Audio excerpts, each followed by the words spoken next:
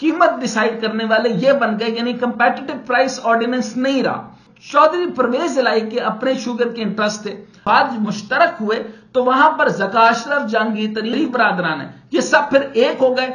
एक अहम तरीन मसला, यानी चीनी जो है, वो पचासी, छियासी से बढ़कर इतना बड़ा जंग कि 220 तक चली गई। 220 तक भी जाएगी और 300 पर भी जाएगी और ये बढ़ती चली जाएगी। आवाम को महँगाई का तो नज़र आ रहा है, लेकिन इसकी वजूहत नज़र नहीं आ रही।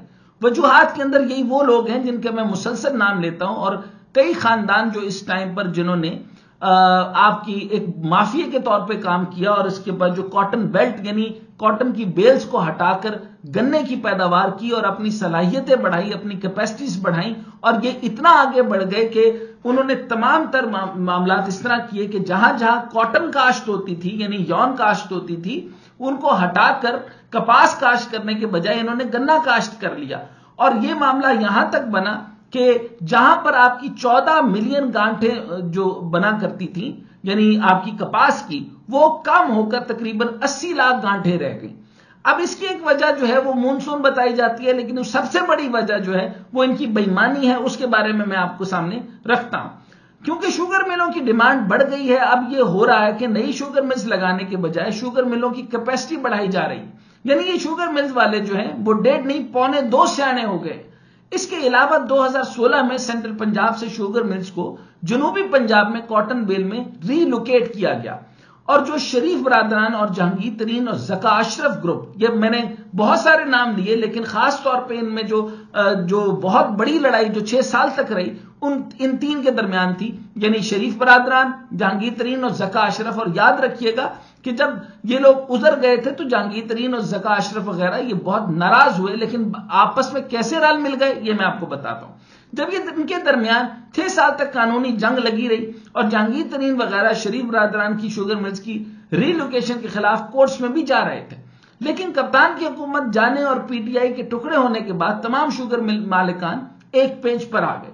यानी आपस में एक हो गए। सब मिलकर कीमतें तय करते थे, यानी जिसको मैं कार्टल कहता हूँ। और जब मोनोपलाइजेशन करते हैं तो इसी तरीके से होता है। और इंफॉर्मेशन एसिमेट्री यानी इंफॉर्मेशन जिनके पास होती है वहाँ से फ्लो करते करते कीमत डिसाइड करने वाले ये बन गए, यानी कंपेटिटिव प्राइस ऑर्डिनेंस नहीं रहा। और इसी तरह सरमायादारों के साथ मिलकर एक्सपोर्ट भी खुद करते हैं, यानी लाइसेंस भी इन्हीं को मिलता रहा। और सारे मामला इसी तरह चलते रहे। कभी क्या कहा जाता है इनकी तरफ़ से कि आठ मिलियन के करीब जो है, आठ मिलियन टन के करीब जो है वो चीनी दस्तियाब है। और एक मिलियन टन अभी हमारे पास बचती है। ये इनका कहना है, इससे भी ज़्यादा बचती है और हमारे पास पाकिस्तान के अंदर चीनी की कोई कमी मौजूद नहीं है। इसके अलावा जो ये लोग आपको दिखाते हैं, वो शुगर की कमी दिखाते हैं और उसके बाद जब एक्सपोर्ट दिखानी होती है और तो आपको ज़्यादा दिखा देते हैं, फिर आप ये कहते हैं कि हमारे पास शुगर दस्तियाब नहीं। तो ये इतना बड़ा जो आपका मामला चल रहा है, ये ऐसे चल रहा है तो मैं अगेन दोबारा आता हूँ। छह साल की लड़ाई का नतीजा ये हुआ। तो फिर जब इंपोर्ट भी यही कर रहे थे तो चौधरी परवेज इलाई के अपने शुगर के इंटरेस्ट थे। अच्छा चौधरी परवेज इलाई साहब, जब आते तो वो लगता था कि उन्होंने मसला हल करना उनके भी इसी तरह के स्टेज थे। तो शुगर के इंटरेस्ट जब हुए तो जनूबी पंजाब में नई शुगर मिल लगाने की इजाज़त दे दी, जो पिछली थी, उसको खत्म कर दिया कि ताकि कोई केस आगे बढ़े ही ना, और नई जो है वो, जो है शुगर मिल्स की इजाज़त दे दी। शरीफ बरादरान के वकीलों ने भी केस बदल दिया, और फिर हुकूमत बदल गई। पंजाब हुकूमत ने केस वापस ले लिया अब नकवी साहब के दौर में शरीफ बरादरान की नई शुगर मिलें, जिनकी इमारतें पहले ही तैयार थी, वो चला दी गई। ये है सारा का सारा खेल, ये है सारा का सारा धंधा। और किस तरीके से जहाँ पर कॉटन बेल्स थी, और जब इनके मुश्तरका मामला हुए, मुफाद मुश्तरक हुए तो वहाँ पर जका अशरफ जहांगीर तरी बरादरान है। ये सब फिर एक हो गए। और इस वक्त जितने भी शुगर मिल के साथ और मालिकान हैं, और जिससे गन्ने की फ़सलें और जितने इनकी शुगर मिल्स हैं। इन सारों के मुफादात एक होने की वजह से कार्टल भी यही है इसकी कीमतें तय करने वाले भी ये हैं। तो यूँ समझ लीजिए कि अवाम एक तरफ़ और ये एक तरफ़। इन सब के ये ये सब के सब रले मिले हुए हैं और इनको अवाम का लेना देना नहीं है।